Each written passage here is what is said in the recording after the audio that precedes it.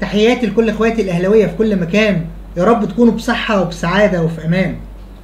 امبارح بعد الكارثة التحكيمية اللي عملها إبراهيم نور الدين كابتن طه إسماعيل خرج عن شعوره ووجه سيل من النقد لإبراهيم نور الدين وعلى الأخطاء التحكيمية والكوارث في القانون والتغاضي عن ضربة جزاء للنادي الأهلي واحتساب ضربة جزاء أخرى للاتحاد غير صحيحة بالمرة. وهنقول ليه غير صحيحة. القانون بيقول إن لو ارتقت لعب رجل اللاعب لرأس المهاجم وحصل التحام أو حتى ما حصلش التحام هيبقى لعبة خطرة وهتبقى ضربة حرة غير مباشرة. لو في التحام هيبقى ضربة جزاء. ولكن لو دماغ اللاعب هي اللي نزلت لمستوى قدم اللاعب ما ينفعش تديله أي مخالفة ما ينفعش تدي مخالفة للمهاجم قصدي للمدافع واخد بالك؟ أو المهاجم لأن الكورة أصلا تعتبر مخالفة على اللي نزل بدماغه لتحت. فتحي ما طلعش برجله لفوق عند دماغ المهاجم النادي الإسماعيلي النادي الاتحاد السكندري. ولكن مهاجم الاتحاد السكندري هو اللي نازل بدماغه. وهنشوف كابتن طه اسماعيل قال إيه وهنرجع نعقب على الكلام اللي قاله. بس قبل ما كابتن طه اسماعيل يتكلم ويقول رأيه في الكارثة التحكيمية اللي عملها نور الدين حضرتك هتدعمنا ب like للفيديو تشترك في القناة وهتفعل زر الجرس عشان يوصل لك كل جديد عن النادي الأهلي. هنسمع كابتن طه اسماعيل ونرجع نكمل الفيديو بتاعنا. نسمع. الفتحي. وتتحسب ضربة جزاء. يعني إحنا أنا عندي كابتن الشناوي هيتكلم عنها. يعني الراجل موطي دماغه لحد ركبة أحمد فتحي. أنا ما أعرفش إزاي تتحسب ضربة جزاء. مش قادر أفهم. ثم كملها بقى إن هو طرد فتحي. هو اداله إنذار على اللعبة. نعم. هي اللعبة طبعا لا تستحق ضربه ضربة جزاء ولا تستحق إنذار ولا يستحق وبعد كده راح طرده كمان يعني الحقيقة يعني ما فيهاش ضربة جزاء ما فيهاش آه كابتن آه الحكم نور الدين. إبراهيم نور الدين.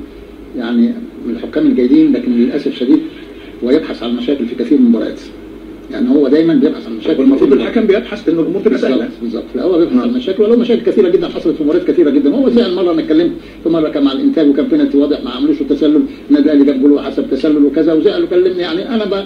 أنا ب... بكلمك يعني كأخ وزميل في المهنة. نعم. هو مدرب وأنا هو حكم وأنا مدرب. نعم. فأنا لما بتكلم بتكلم على يعني أنا أعتقد دي لا تستحق. انها طبعا شوف الكابتن أحمد الشناوي لكن هي أصل دي برضه نقطه فاصله في المباراة. نعم. لأن بينالتي ثم طرد معاها كمان. يعني شوف يعني شيء عجيب يعني. حتى الإشارة بضربه الجزاء.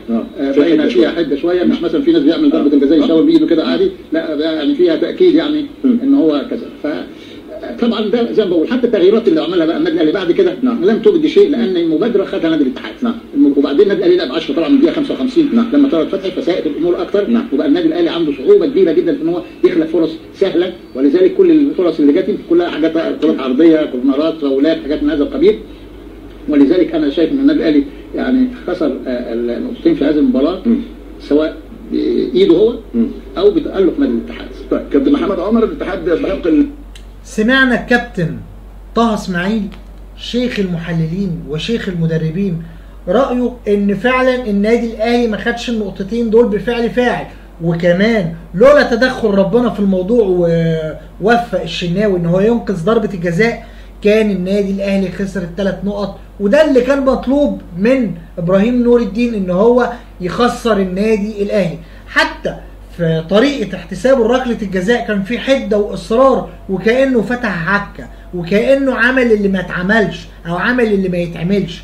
بس المشكلة إن يجي واحد زملكاوي يقول لك النادي الأهلي بيكسب بالتحكيم والفار أهلاوي والفار بيخاف من النادي الأهلي.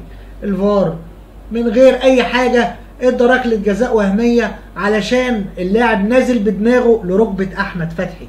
دي نقطة. النقطة الثانية بيقول لك إن طرد أحمد فتحي وما كانش تستحق طرد حتى لو اتكلم بعد اللعبة. ده لاعب الكرة أصلا ما فيهاش طرد يا فندم. الكرة أصلا ما فيهاش ضربة جزاء يا بيه. جاي أنت بتديله ضربة جزاء وبتطرده مش كده وبس. ده في ضربة جزاء للنادي الأهلي والشناوي أقرها وسمير أحمد عثمان أقرها وهو ما حسبهاش. ولكن المخطط عشان يعني عارفين اللقمة لما تبقى متعاصه السم؟ متعاصى حاجة يبقى طعمها مش لذيذ. زي التورتاية اللي فيها شوية ملح ولا شوية تراب. هم عايزين يبوظوا فرحة النادي الأهلي بالدوري. يخسروه ماتش يخسروه آه، ماتشين يخلوه يتعادل. ده ده هدفهم عشان ما هم مفيش في إيديهم حاجة تانية. خلاص النادي الأهلي إن شاء الله الماتش اللي جاي يبقى متوج رسميا بالبطولة حتى لو اتعادل أو فاز. فده اتحاد الكورة وده إبراهيم نور الدين اللي مرتضى بيقول عليه إن هو أهلاوي وإن هو مش عارف إيه. بس واضح إن قناة البليلة نجحت في إثارة الحكام على النادي الأهلي. ونجحت في إنها تخلي الحكم يبقى شايف الحالة بعينه ويحسب عكسها. ده إعلام البليلة اللي وجه إزاي يخلي الحكام ما تشوفش الحقيقة وتشتغل في الضلال ضد النادي الأهلي ويبقى ال- الناس كلها شايفة الحقيقة والحكم بس هو اللي مش شايفها. أنا بشكركم مرة واثنين وثلاثه كل إخواتي الأهلاوية في كل مكان. بتمنى إخواتي الأهلاوية تدعمني بلايك للفيديو وتشترك في القناة وتفعل زر الجرس عشان يوصل لك كل جديد عن النادي الأهلي. وما تنساش تعمل لنا شير للفيديو على الفيسبوك. بشكركم مرة واثنين وثلاثه وعشرة. كان معاكم أخوكم هاني الشرقاوي. وسلام عليكم.